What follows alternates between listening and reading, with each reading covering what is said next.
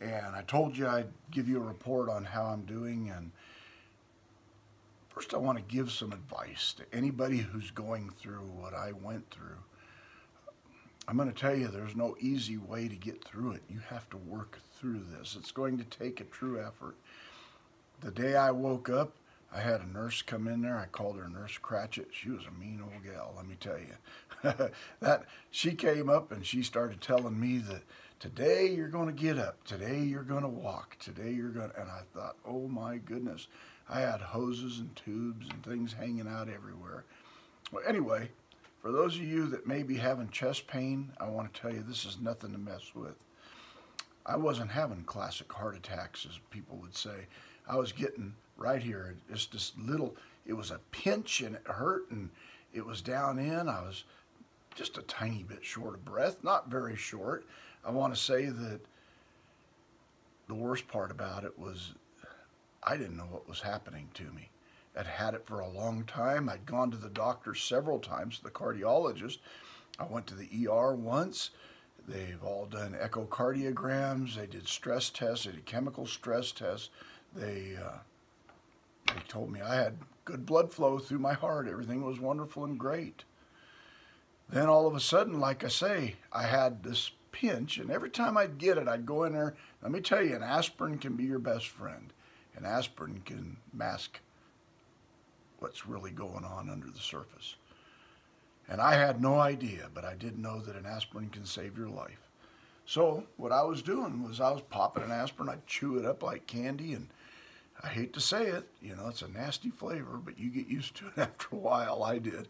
Anyway, I want to tell you that in all of this, I went to bed one night. I was right in the middle of a very stressful time in my life. I'd had a dear friend named John pass away. I'd had a wedding and another one coming up. My dad had been sick and I'd been running back and forth 50 miles away to his town to take him to chemo a couple times a week at least and to check on him about a couple more times than that a week. So like three or four, or maybe five visits a week. All I want to say is that if this is you and you're overloaded and you're really stressing out, you got to start lightening the load. You really do. Since then, I've lightened the load quite a bit. I've learned to delegate a lot and I've learned to take it easy a lot. I want to say that when my dad passed away, it was pretty stressful. I had to work on organizing his funeral service.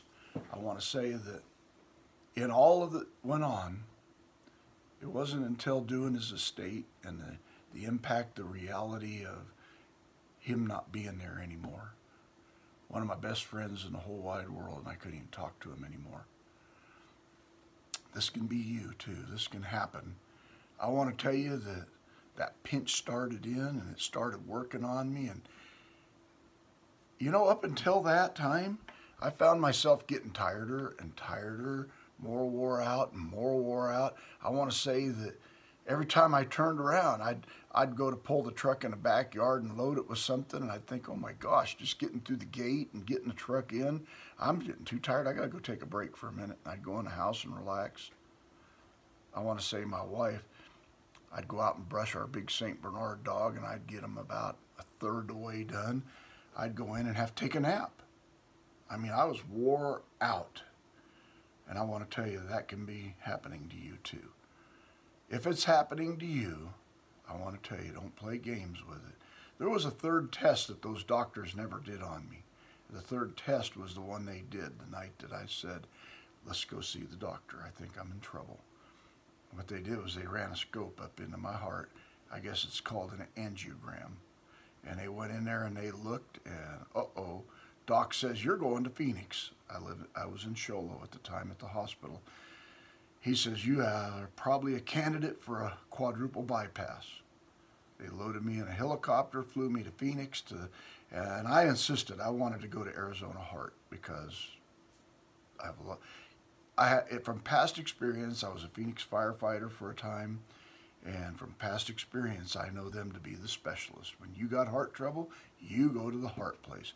When you have a brain injury or something of that sort, you want to go to where they deal with that, and that would be Barrows Neurological, right in the same kind of area. all out of St. Joseph's. Well, anyway, now it's called Abrazo Heart, Heart Hospital, which is still Arizona Heart. I want to tell you that Arizona Heart is a fine institution, great surgeons. I had Dr. Hessel, he was a really fine surgeon. He has since retired, so I'm sorry to tell you that. I want to say that six months out, my wound is healed perfectly. I can give you a little peek real quick, see? It's, it is healed really well. Right in my clavicle, sometimes it hurts sometimes, right in here on my, on my right side. They must have had to cut through it and broke through it. And uh, let me tell you, when they open you up, they cut nerves. And there's a, mammal, a mam, mammillary nerve, I guess they call it. Man, that baby hurts. And all what's happening for about the next year or year and a half, they tell me, those nerves are trying to reconnect.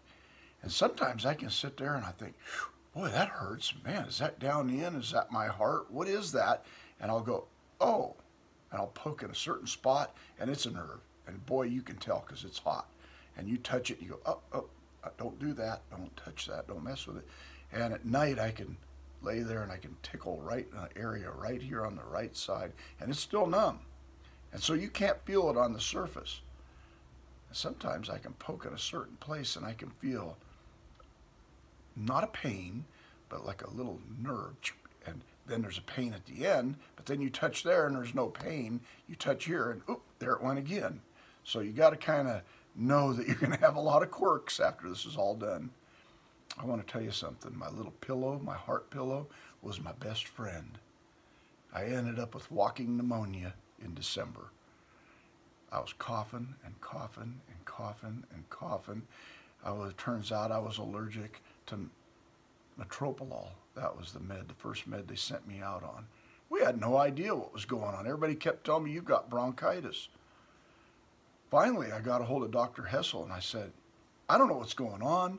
The PC's telling me that it feels looks like bronchitis. Nobody can tell me exactly what my malady really is. All I know is that there's something really wrong here and it has to be fixed. I'm going to tell you something. I was one sick puppy. In fact, I thought I was swirling for maybe one of the last times before you go down the toilet.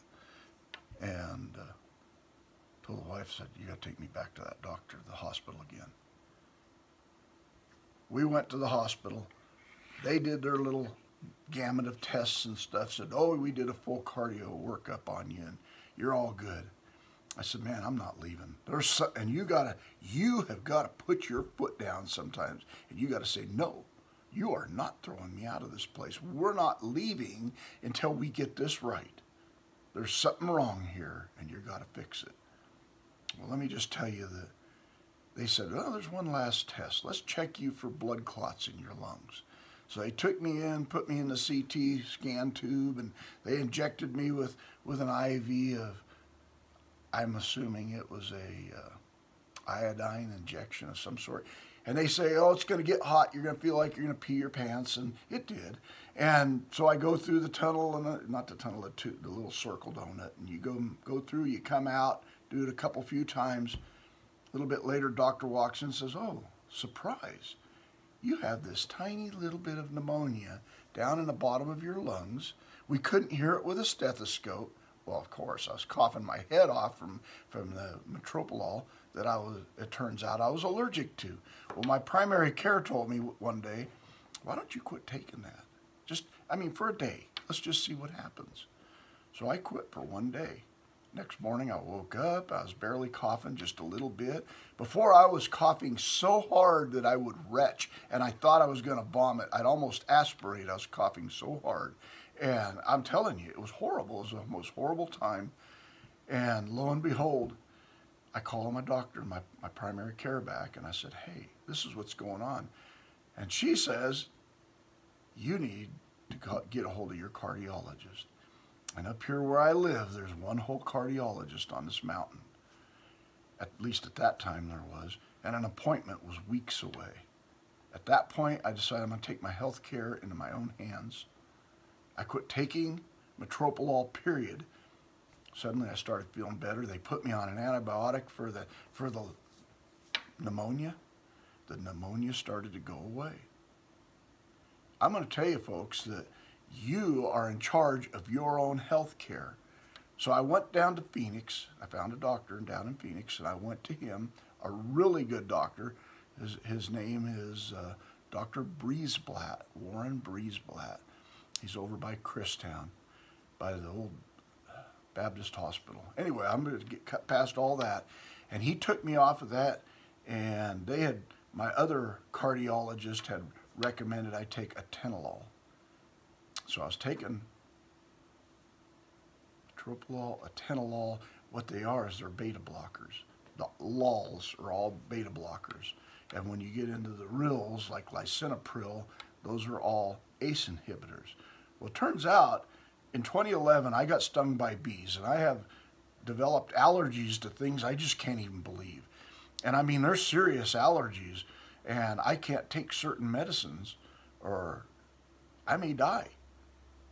Well, I was taking atenolol, and all of a sudden, under the sides of my arms, not under my arms, on my sides and on the backs of my arms, I started developing a rash. And it got really bad. Well, when I saw Dr. Breesblatt, he took me off of Plavix, thank God, finally, and I was also seeing my primary care, a lot of doctor stuff. Let me tell you, when you're on all these meds, every med you take will have some effect on something else in your body, even though it's helping what it needs to help. Well, anyway, I was having a problem with peeing real orange. See these scissors? I'm going to show you some scissors. They got orange handles. I mean, it was coming out almost not quite that orange. It looked like like somebody had dumped apple juice in a in a white porcelain toilet when I was done peeing. It looked bad. And so I went to her. She did a, a liver workup. Now I'm seeing another doctor for liver and kidneys and all that, and Dr. Solomon, and she's down in the valley also. Well, anyway, going back to my other doctor, Dr. Breesblatt, who is my cardiologist, I told him, I said, I think I'm allergic to that atenolol. He says, well, quit taking it. Gave me another one that, let me tell you, I research every med now that before I take it, I research it. I want to know what its effects are and all that. Well, it said that it was, they said refractory, Mayo Clinic says. It's refractory, or otherwise, it is highly resistant to epinephrine. Well, I've got an EpiPen because after those bees stung me, certain things can happen, like a bee sting, and I need to have an epi right then, or I may not make it. So, but I've never used it yet, but I have it. So anyway, lo and behold, I've got to have this epinephrine, and it says that epinephrine is resistant against the reaction you may have from this allergic reaction. I went to the pharmacist. He says, oh man, you better not take that stuff. He says, you know, you're allergic to to these beta blockers we are learning now from experience. So he says, you might want to start taking something else. And I said, well, doc, all I'm on right now, I mean, not doc, he's the pharmacist. I said, all I'm on right now is hydrochlorothiazide 12.5 and a baby aspirin once a day. And I found that the baby, that I'd wake up in the middle of the night and my heart would be pounding in me so hard that my wife could feel it in the bed right next to me. I get up, take my blood pressure. Yes, I have high blood pressure then at that point. Not always, but just then. And it's 148 over 100 and, you know, pulse is 77. And you say, oh my gosh, what are you, stupid? Go to see the hospital again, you know. No, you know, you just take your, I took another 12.5 and that seemed to really help. Went back to bed, went back to sleep, woke up, still a little bit high on blood pressure, not that high, but not right yet did not take another dose of meds because that was 3 in the morning. So I just took my meds I would take at 6.30 at 3 instead. And it helped. So I started talking about that to the, to the pharmacist. He says, well, why don't you take a 12.5 in the morning when you get up, another one later in the afternoon, because if you take it right before bed, you'll be up peeing all night, trust me. So you want to take it about 4 in the afternoon, and that seems to get me through the night pretty good. I still have high blood pressure when I get up, but not during the night. How do I know? I take my blood pressure a lot. A lot. I want to be sure. You know what? This pump in here is pretty fragile. It's pretty, it's pretty durable, but it's also very fragile after you've had heart surgery. and it gets really, really mad because somebody went in there, opened you up, and handled it and did stuff to it and poked needles and sewed with thread into, uh, you know, very fine thread, but nonetheless, it's mad. It's madder than heck. And so it's rebelling. it's going to tell you, I don't like what you're doing to me. And, I'm, and it's mad for a long time. Anyway, long story short, let's get back from away from that for a minute my doctors had me going to, to cardio, cardi, cardiac rehab. And so I'd go to cardiac rehab, and then the COVID came, and then I couldn't go to cardiac rehab. So I had to do my take my own exercise in my own hands, which I don't have all the equipment they have, so I did what I could. Anyway, long story short, cardiac rehab is your friend. If your doctor says I want you to take go to cardiac rehab, you need to go. Trust me. If you don't go, you'll be sorry. Let's get away from all that. I want to tell you that I just graduated yesterday from cardiac rehab. They called me back, said, you can come, you only have three more treatments. And I went, I graduated, and they could not believe because when I very first started, I would go in there and I was constantly in what they, what they called trigeminy and bigeminy, which means that I'm throwing a PVC every other heartbeat or, and I do it two times in a row or three times or four times in a row sometimes. And as soon as I started exercising, it would just be there, be there, be. And they were scared. They said, "You can't keep exercising because you're going to go into VFib or something." You know, they were afraid of it. Well, I told them I feel pretty good. I'm not lightheaded. I was a little bit. I, I fudged a little bit because I wanted to get well, and I know exercise is the answer. And most my body kept saying, no, you don't want to exercise. But really, I had to exercise. What time is it? Okay, I got an appointment here pretty quick, so I have to hurry. Anyway, you don't want to exercise because your body is tired. It aches, it hurts, it's this, it's that. You got to tell your body. You got to be the commander of the ship. I'm telling you, you either take control or it'll take control. Because your body, your flesh says, I want this. It's kind of a spiritual lesson in this as well. Your body, your flesh says, I want this. It's not necessarily good for you. Anyway, they'll help you with diets. They'll help you with all that. I was 235 when I went in, when I had my heart attack. I hate calling it heart attack because I didn't feel like I didn't have the classic ton of weight on my chest, you know, like an elephant or, or a pile of bricks or something. I didn't have that. I didn't have it up my neck and down my arm, and I didn't have that. I had this pinch and I was really tired. And I get winded really easy. You need, you really need to catch this quick, folks. If this is you, start seeing a cardiologist. I recommend it. Anyhow, six months after, now I can do 30 push-ups every morning. I do 30. I do about 25 squats. I don't want to get too carried away. I get on, I have a stationary bicycle. I get on there, go about 15 miles an hour, and I don't put much resistance on it, just a very tiny little bit, and I ride it for 25 minutes. I'm, and I'm panting, and it's, it's kind of hard, you know. And, and now I've, I've gone from five pound weights of curling to eight pound weights, and I, you can't see it, but I'll, I'll lift them out like this, out outward on both arms. You see I got both arms out. And I'll bring them to my back and I'll, I'll bring them behind me like this as I'm working out. I'll bring them out straight and I'll hold them. That, that's real hard to do with eight pounds. I almost can't do it. But I will curl this way. I curl this way. I do come over my head now, which I was not allowed to do. Let me tell you, they're going to tell you don't lift, don't do anything over your head because you could break this baby loose in here and you do not want to do that. Trust me. You got to treat this wound with care. If you're the kind of person that has an anger issue and you want to get in a fight or something, all it takes is one punch right there. You're going to be in big trouble. So you need to learn to control your anger. You should have done that a long time ago. It might be why you're having the heart issue. I'm a pastor of a church sitting in my office right now, and I'm trying to talk to you and tell you that if you don't deal with your anger and with your things of unforgiveness, they will eat you up. And so I want to tell you today, you can live through this, but you have to make the choice. So for right now, I've got to sign out.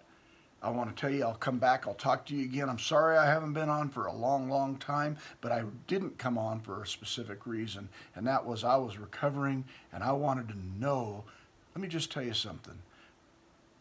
I am feeling so good right now, and all I take is two hydrochlorothiazide. That's a blood pressure pill. I take two of those, one in the morning, one in the evening, and I take two baby aspirins, one in the morning, one in the evening, and that's all and I'm and I'm going to go see the doctor on Monday, Dr. Briesblatt, and I have to see uh, Dr. Solomon here in just a couple minutes, so I have to hurry. But anyway, I'm going to go see Dr. Solomon. I got to we have got to sit down and talk about my meds because I am not going to take a beta blocker. I will not take a beta blocker, and that's how I'm going to tell them. Uh, it's proven that I'm allergic to them. I'm also allergic to uh, statins, and I've had doctors give me statins to where I was covered from head to toe with rash. And it takes weeks for that to go away. So I want to tell you, be careful. Take control of your health. If you don't, somebody else will. And when somebody else will, it's going to be their best guess, and it's not necessarily going to be what's good for you. They're going to try to do what in normal circumstances would be the best for you. But you need to make sure you take care of your circumstances. I got to go for now, folks. It's really good. I hope to get back to you again real soon. We'll talk to you later. God bless you. We'll see you later. Bye bye.